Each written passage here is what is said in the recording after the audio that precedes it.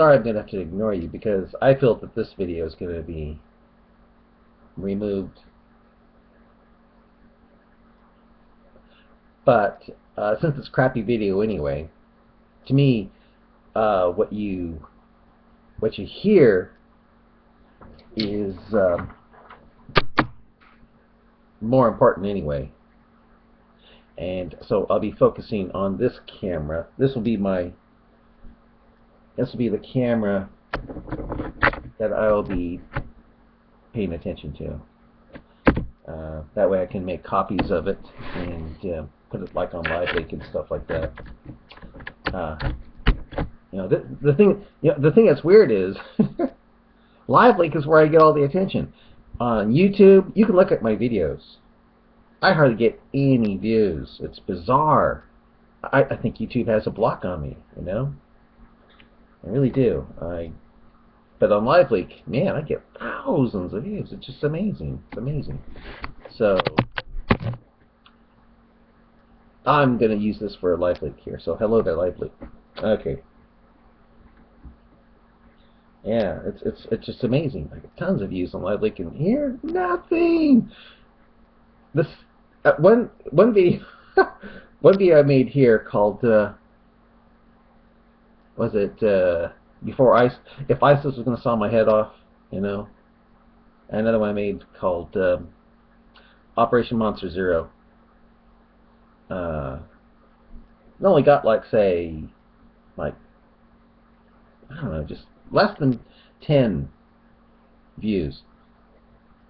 And on LiveLeak, 12,000, you know, 5,000, you know, yeah, for Monster, for Operation Monster Zero, almost uh, 6,000, you know, just in four days. So it's amazing. They they really like uh, on LiveLeak. They really like uh, videos that expose Islam. Here, there's a block on me, you know.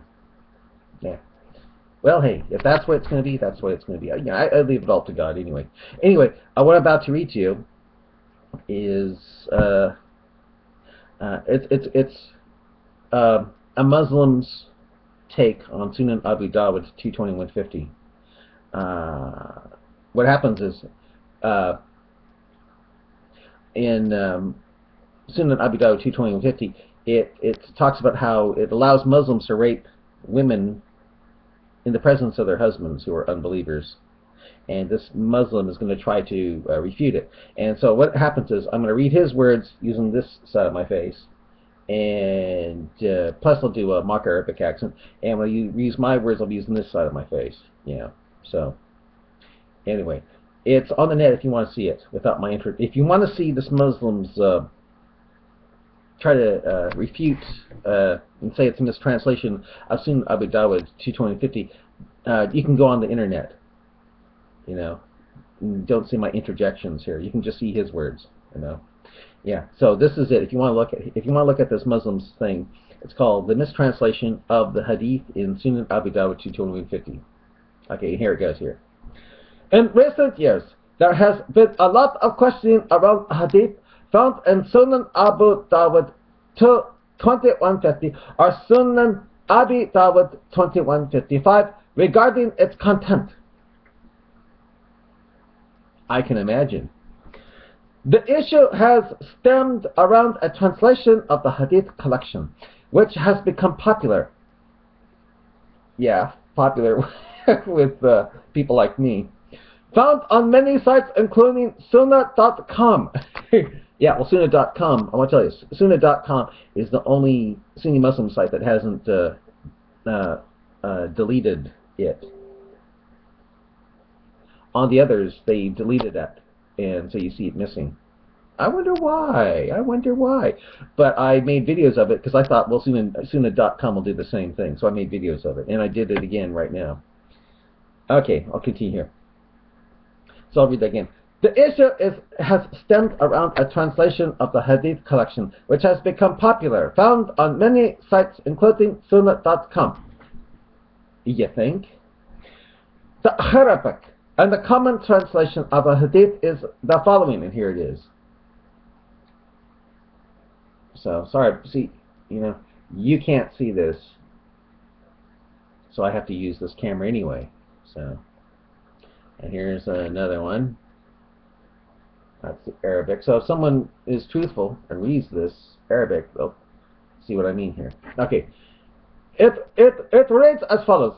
Abu Sa'id al-Khudri said, The Apostle of Allah sent a military expedition to Atis on the occasion of the Battle of Hunain. They met the enemy and fought with them. They defeated them and took them captives. Some of the companions of Apostle of Allah were reluctant, reluctant to have intercourse with the female captives in the presence of their husbands who are unbelievers.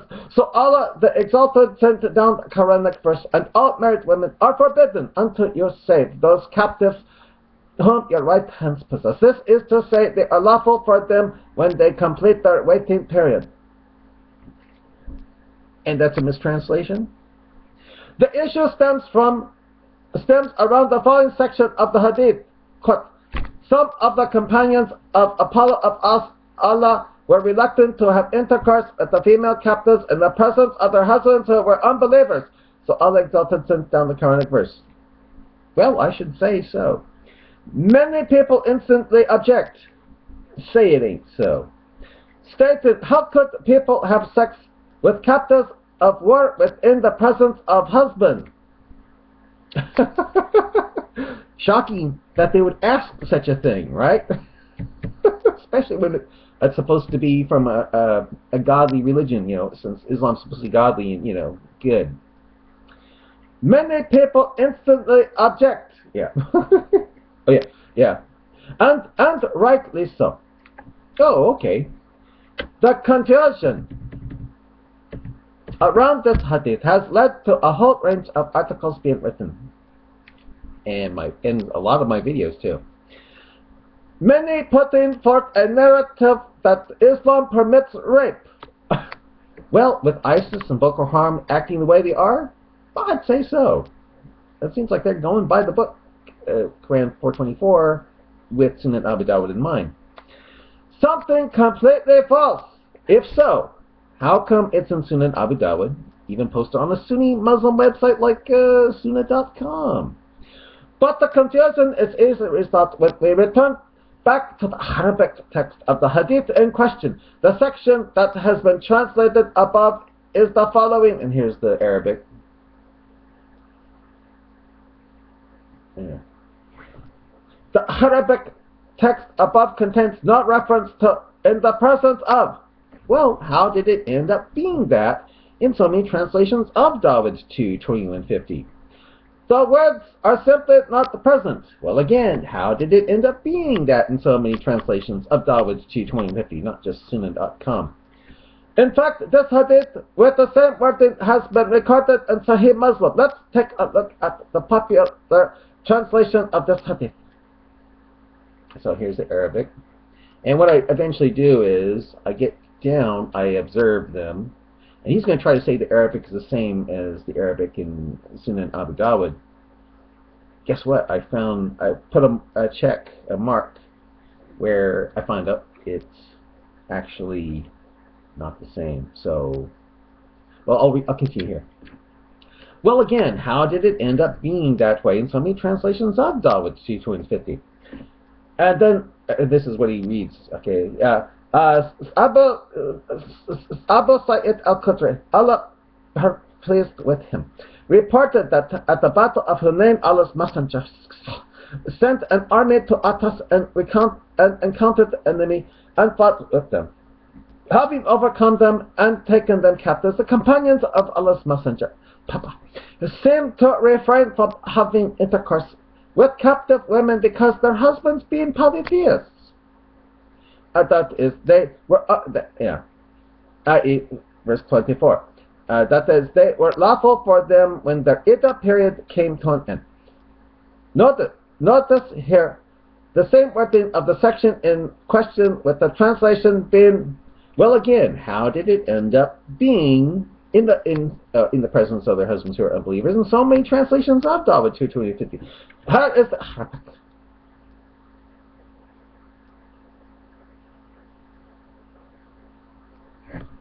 Well, again, how did it end up being in the presence of their husbands? it's so many translations of Dawud 220 and 50. The companions of Allah's Messenger seem to refrain from having intercourse with captives women because of their husbands being polytheists. Then Allah the Most High sends down regarding that. Well, again, how did it end up being in the presence of their husbands who are unbelievers in so many translations of Dawud 22050? We can, con- we can instantly say that there are that, there has been a mistake in the translation of the Hadith in Sunan Abu Dawud.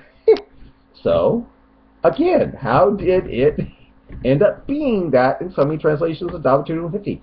Did uh, evil Jews go in there and uh, pay the Muslims to write it that way? You know, this is further emphasized by the translation of Abu Sunan Abu Dawud by Yasir Qadhi and published by Darussalam.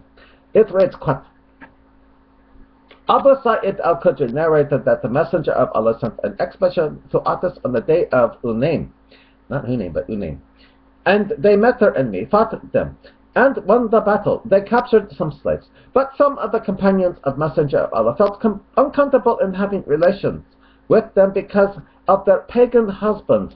At this, Allah revealed, quote, Unchaste free women except for those whom your right hands possess, meaning that they are allowed for you after being a waiting periods have finished. Well, that sounds sweet, but Quran 4:24 says you can have sex with married women if they are in your right if they are your right hand possessed slave. To sum, the, so sum up, the translation of Sunan Abu Dawud Hadith contains a great mistake not when you consider Quran 424 that says you can have sex with married women if they are your right hand possessed slaves. The Arabic text doesn't contain uh, what in presence of. If so, well again, how did it end up being that in so many translations of Dawud 22050? And what of Quran 424 that says you can have sex with married women if they are your right hand possessed slaves? He even mentioned slaves right here, you know. This is further shown by the translation of Sahih Muslim, which contains a hadith with the same wording, and the translation of Sunan Abu Dawud provided in Darussalam. I'll put the Arabic of Muslim and Dawood from Sunnah.com into Google Translate and see if that is so. I hope websites like www.sunnah.com, Wiki, Wiki Islam, oh shoot,